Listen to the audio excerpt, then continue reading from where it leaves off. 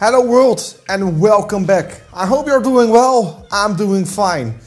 In our last video we discussed sensitivity labels in Microsoft Purview and how they help you classify data. Today we're building on that knowledge by diving into data loss prevention, also known as DLP. Another essential feature in Microsoft Purview that helps you prevent sensitive data from being shared or used improperly. And here's the good part. Data loss prevention works with policies. We can apply these policies directly to the sensitivity labels you are already known.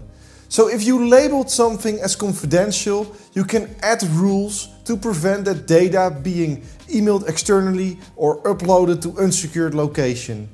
By the end of this video, you know how to configure these policies and get your DLP strategy running smoothly.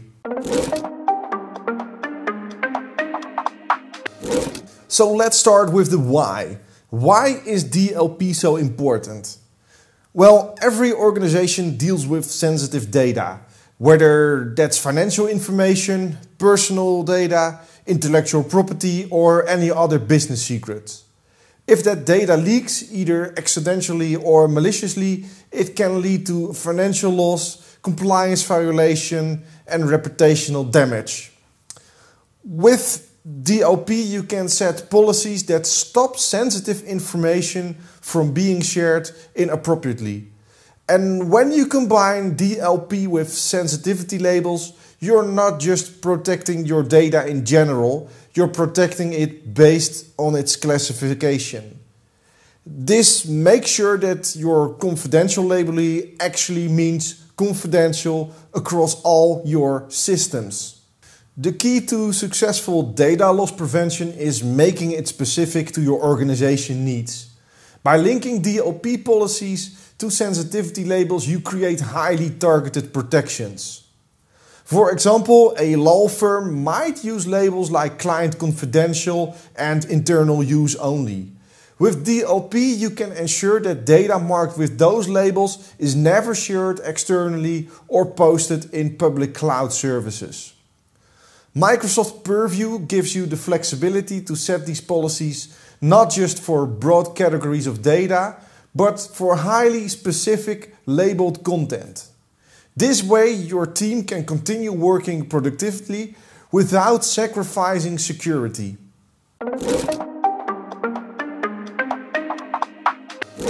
Now let's talk about some best practices for implementing data loss prevention with sensitivity labels. Make sure your labeling strategy is working. Make sure you've probably set up your sensitivity labels before implementing data loss prevention. This will ensure that the right data is being protected. When your sensitivity labels are good to go, start by applying DLP to the most sensitive labels first, like labels as confidential or regulated or any other confident label you would like to start with. You can expand from there once you're confident in how the policies are working. Also, make sure you involve your team. Ensure your employees understand both the sensitivity labels and DLP policies that are in place. Policy tips and notifications should help users to make an informed decision rather than feeling restrictive. And last but not least, review and adjust. As your organization grows and evolves, so should your policies. Periodically review the DLP audit logs and make any necessary adjustments to protect new types of sensitive data. So now let's grab a cup of coffee and I'll show you around on how to set up your DLP policies.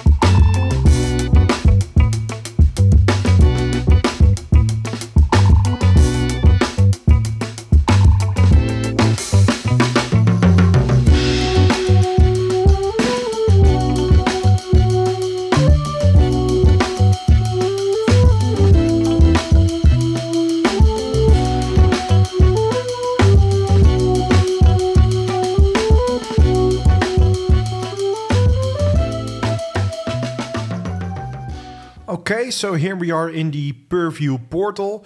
Before I'm going to show you how you can set up your DLP policies, I first would like you to see some settings because we need to prepare our environment to make sure our DLP policies uh, work.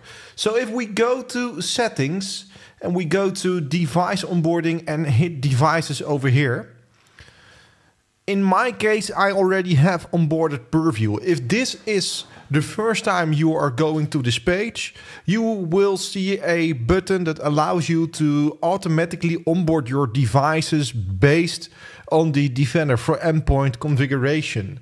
So the Defender for Endpoint client will be used to uh, validate our DLP policies. So when that is done, um, we could also view our devices over here and see their status. And this is really helpful if you would like to uh, debug any issues uh, that you're dealing with. We can quite clearly see uh, what's happening uh, on the on this device and I would like to um, yeah make attention of this over here. Policy updates can take up to 2 hours. And yeah, they will take some time uh, before they are applied on your uh, device. We could also click on this button over here, view all policies on this device, and that will exactly show me what policies will be applied on this device. In this case, it's the disable copy sensitive data policy. So let's close this, go to our solutions, and here we have data loss prevention, DLP. If I click on that, uh, first of all, make sure you run the stuff over here. It will teach you some things, and it will uh, enable the uh, the analytics uh, for you, which can be helpful in uh, in the future. If I go to policies, this is where I have all my policies. In my case, I have one policy over here, and let's explore that uh, that policy. If I click on this one and hit edit policies over here, that will brings me to the policy configuration page. If you're going to create a new policy, you will exactly see the same screen. And there are a lot of default policies available, but this one is a custom policy. Let's go through all the screens. I've given it a name. I left the default description uh, over here. You can change that if we want to. We could add some uh, admin units over here uh, these are the units on which the uh, the policy will be set. I'll leave that as it is, and it will now be applied to the full directory. Here I can uh, choose the locations where I would like to uh, apply my policy. In this case, I've chosen for SharePoint site, OneDrive accounts, and my devices. There is more. There's also Exchange. There are Teams chat uh, and channel messages, on-premise repositories, and even Fabric and Power BI workspaces. If I now go to the advanced DLP rules, this is where I can set up my rules. And I have uh, one rule over here that is restrict device activities. So this will actually uh, show me exactly what this policy is is doing. So I've given it a name, restrict device activities. I left the description empty. And here we have the conditions. So these are the conditions when the rule get executed. So it will get executed on uh, files of uh, a certain uh, with a certain extension, in my case docx and .xlsx. And it needs to have the classified sensitivity label applied. So if I do something with search a file, we can execute some actions. And if we go down here, I have uh, enabled one action, and that's audit or restrict activities on devices. So I will audit when the file gets uh, uploaded uh, using unallowed browsers. And here I have restrictions uh, for my device. So the copy to clipboard, I have set this to block with override. And that means that it's blocked by default and the user needs to override explicitly um, that he would like to execute this activity.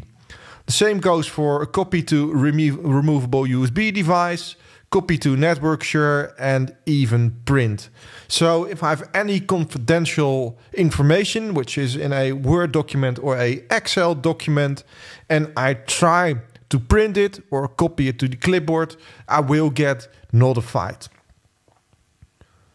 If we go all the way down here, I also checked that the, the override requires a business justification, and we send an alert to the uh, administrators. So this is basically my policy. Let's cancel this one out.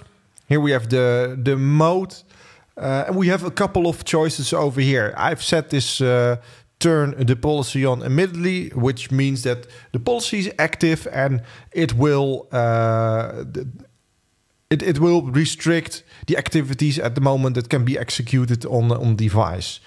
If you are starting with DLP, I would recommend to start with the simulation mode. This allows you to see what's happening in your environment, make any adjustments if necessary, uh, and yeah, it, this allows you to, to see on forehand what's going to happen before users are confronted uh, with uh, with this. Because if you turn this one uh, on, users uh, will see that the policy is active and you restrict them from uh, executing certain activities.